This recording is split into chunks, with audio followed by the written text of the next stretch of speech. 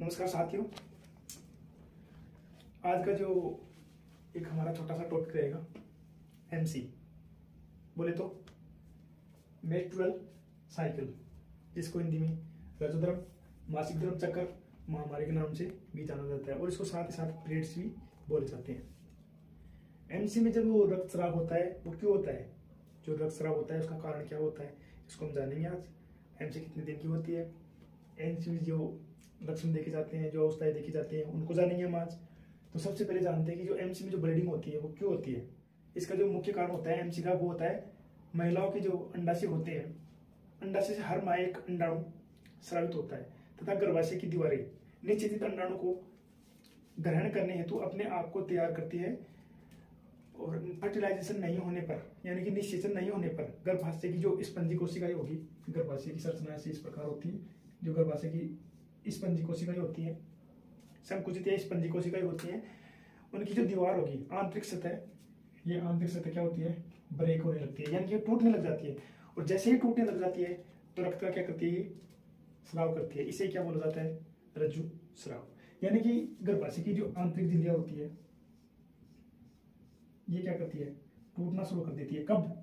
जब जायगोट, यानी कि जो निश्चित अंडाणु होता है, जो निश्चित अंडाणु होता है वो अपने आप में निश्चितन नहीं होगा तो क्या होगा? ये सतह स्पंजी सतह टूटने स्टार्ट हो जाएगी और जैसे ही स्टार्ट होगी टूटना। तो यहाँ से योनि के सर्विक भाग से होता ब्लड चालू हो जाता है। इसलिए ब्लड जो ब्लड की जो होगी, होती है, इसी के आधार पर इसको क्या बोला जाता है? रजोधर्म इसके बाद हम जानेंगे कि यही मुख्य कारण नहीं होता कि महिलाओं में एमसी चक्कर जो होता है, उसमें ब्लीडिंग होती है। जो महिलाओं में हार्मोन्स होते हैं हार्मोन्स होते हैं कई प्रकार के, जैसे कि प्रोजिस्टोन ये इस प्रकार के जो हार्मोन होते हैं, उनमें जो बदलाव होता है, जैसे कि हम बोल सकते हैं, महिलाओं के जो शरीर में हार्मोन्स में होने वाले जो बदलाव होते हैं, उनकी वजह से गर्भाशय में रक्त और अंदरूनी हिस्से, रक्त, अंदरूनी हिस्से यानी गर्भाशय के आंतरिक से जो हिस्सा होता है, उनसे रक्त स्राव होने लग होने लग जाता है। इसी को क्या बोला जाता है? एमसी बोला जाता है। अब हम आगे जानेंगे। एमसी की कितनी जैसे ये एमसी है, इसको हम चार भागों में डिवाइड कर लेंगे। एमसी का जो टाइम पीरियड होता है, यानी कि हम इस अट्ठाईस दिन का जो चक्कर होता है साइकिल होता है, उसको हम चार पार्टों में डिवाइड कर लेंगे। पहला जो पार्ट होगा, वो होगा ब्लीडिंग पार्ट ये जो अवस्था होगी, यानी कि ब्लीडिंग फ़ेज़ ब्लीडिंग फ़ेज़ दूसरी अवस्था होती है फोलिकल अवस्था, तीसरी होती है अंडोसर और जो फोर्थ होती है, वो होती है ल्यूटियल अवस्था, यानी कि फोलिकल अवस्था। ये अवस्था होगी होगी फोलिकल अवस्था। और थर्ड होगी अंडोत्सर्ग अवस्था। और जो फोर्थ होगी, वो होगी ल्यूटियल अवस्था। जो ब्लीडिंग फ़ेज़ होगी, वो एक से चार डेज़ की होगी वन से फोर डेज़ होगी। जो ये नेक्स्ट होती है मतलब ये फोलिकल ये फाइव से तेरह डेज़ के मध्य होती है, और जो इसके नेक्स्ट होगी, ये ये अंडोसर अंडोसर्ग किस दिन होगा? जो चौदह दिन होगा, यानी फोर्टीन डेज़ जो चौदह नंबर का डेज़ होगा, उसी दिन क्या होता है? अंडोसर्ग होता है। और जो बाकी के बच गए पंद्रह से अट्ठाईस लास्ट की जो डेज़ होंगे, उस अवस्था में कौन सी अवस्था आएगी? ल्यूटियल अवस्था। अब हम जानते हैं जैसे कि एक से चार दिन। इसमें क्या होता है? ब्लीडिंग फ़ेज़ होती है। अब ब्लीडिंग के साथ साथ हम यह भी जान लेंगे कि जो रुधिर होता है, यानी जो बेस्ट रुधिर रुधिर होता है, यानी कि रुधिर की जो हानि होती है, वो कितने कितने परसेंट यानी कितने एमएल होती है? तो जो रुधिर की हानि होगी वो तीस से, एक बार जब महिलाओं में रजोधर्म की प्रक्रिया संपन्न होती है, शुरू होती है, फिर शुरू होकर पूरी हो जाती है, जब तक महिलाओं में तीस से चालीस एम जो ब्लड होता है, उसकी क्या हो जाती है? हानि हो जाती है। अब इस ब्लड में भी सत्तर परसेंट और तीस परसेंट ये जो ब्लड होगा प्योर ब्लड होगा मतलब शुद्ध ब्लड होगा ये। कौन सा ब्लड होगा? शुद्ध ब्लड यानी कि शुद्ध रक्त होगा। और जो ये तीस परसेंट होगा, ये मतलब अशुद्ध, बोल सकते हैं अशुद्ध ब्लड होगा, यानी कि वेस्टेज ब्लड अशुद्ध ब्लड होगा। तो ये ब्लीडिंग फ़ेज़ थी।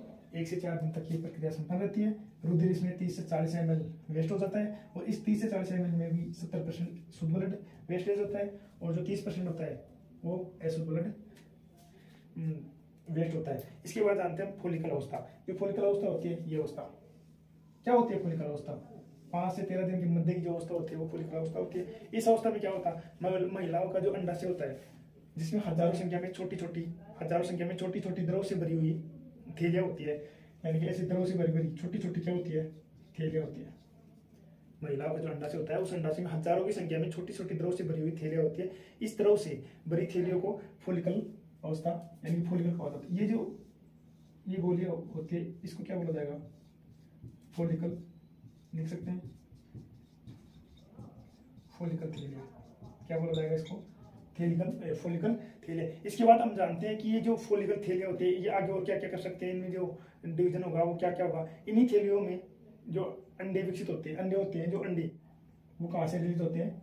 इन्हीं फोलिकल थैलियों से। यानी कि जो इनका विकास होगा, वो इन्हीं थैलियों में होता है। इसके बाद हम जानते हैं कि जैसे एम चक्र होता है। एम चक्र की शुरुआत में बहुत से फोलिकल विकसित होना शुरू होते हैं। जैसे एम से शुरू होती है। जब शुरू शुरू में एम से शुरू होती है तो बहुत से ये फोलिकल थैलियाँ विकसित होती है। बहुत सारे मतलब हज़ारों की संख्या में क्या होते हैं? फोलिकल जो फोलिकल होते हैं, उनका विकास शुरू होता है।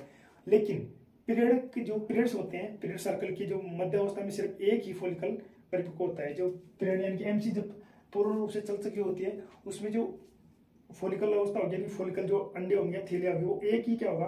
परिपक्व होगा। इसे क्या बोलेंगे? डोमिनेट फोलिकल के नाम से जाना जाता है। डोमिनेट डोमिनेट फोलिकल इसमें एक ही अंडा होगा, जो क्या होगा? डोमिनेट यानी कि लास्ट तक जाएगा, और बाकी सभी नष्ट हो जाते हैं। प्रतिमा है दस से बारह फोलिकल अंडे क्या होते हैं, विकसित होते हैं। प्रत्येक माह जो भी महिला होती है, उस, उन सभी महिलाओं में लगभग प्रत्येक माह दस से बारह फोलिकल अंडे फोलिकल विकसित होते हैं, और इनमें से जो ये दस बारह होते हैं, इनमें से भी जो क्रियाशील होगा, वो कितना होगा? एक। यानी कि क्रियाशील कितना फोलिकल होगा? एक। इसके बाद हम जानते हैं कि यहाँ तक की प्रक्रिया समझ में आ गई होगी कि ये फोलिकल हज़ारों की संख्या में फोलिकल थैलियाँ बनते हैं और इन्हीं फोलिकल थैलियों में जो अंडे होते हैं, उनका विकास होगा और जो ये फोलिकल थैलियाँ होंगी, इनमें से जो अंडे विकसित होंगे, उनमें से दस से बारह फोलिकल रिलीज़ होते हैं प्रत्येक महीने, यानी कि विकसित होते हैं और इन दस से बारह में भी जो क्रियाशील अंडा होगा या क्रियाशील फोलिकल होगा, वो कितना होगा? एक होगा। इसके बाद हम जानेंगे कि अंडोत्सर्ग जो ये अट्ठाईस दिन का हमने जो पाठ किया था बाघ अलग अलग किए थे, उनमें से ये चौदह दिन का जो दिन होगा, उससे, उसमें क्या होगा? अंडोत्सर्ग होगा। अब अंडोत्सर्ग क्या होता है? अंडोत्सर्ग वह प्रक्रिया होती है, गर्भाशय से अंडे का निकलना क्या कहलाता है? अंडोत्सर्ग कहलाता है। गर्भाशय से अंडे का निकलना। क्या होता है? गर्भाशय से अंडे का निकलना अंडोसर कहलाता है। महिला अपने जीवन काल में लगभग चार सौ बार क्या करती है? अंडोत्सर्ग करती है। आपको ये बात याद रखनी है। लगभग महिला अपने पूरे जीवन काल में कितनी बार अंडोत्सर्ग करती है? चार सौ बार। ये बात बेसिक नॉलेज के लिए ठीक है। आपको याद होनी चाहिए। और इसके बाद जो अवस्था होती है, वो होती है ल्यूटियल अवस्था। यानी कि पंद्रह से जो लास्ट अट्ठाईस डेज़ डेज़ होते हैं, वो कौन सी अवस्था होती है? ल्यूटियल इस अवस्था में जो दिन काउंट होंगे पंद्रह से एम सी तक आके जब रुक जाएगा, इसके बाद की जो अवस्था होती है ल्यूटियल अवस्था, इसको हम जानेंगे आगे। अभी आज तक, आज का जो मेन टॉपिक था एमसी एमसी हमने जान लिया, क्या होती है? ब्लीडिंग फ़ेज़ क्या होती है? फोलिकल अवस्था क्या होती है? अंडोसल अवस्था क्या होती है? ल्यूटियल अवस्था क्या होती है? तो आज का हमारा ये टॉपिक था छोटा सा एमसी अगर आपको वीडियो पसंद आया हो तो चैनल को सब्सक्राइब करें लाइक करें कमेंट्स करें और वीडियो को अपने दोस्तों के साथ शेयर करें। धन्यवाद।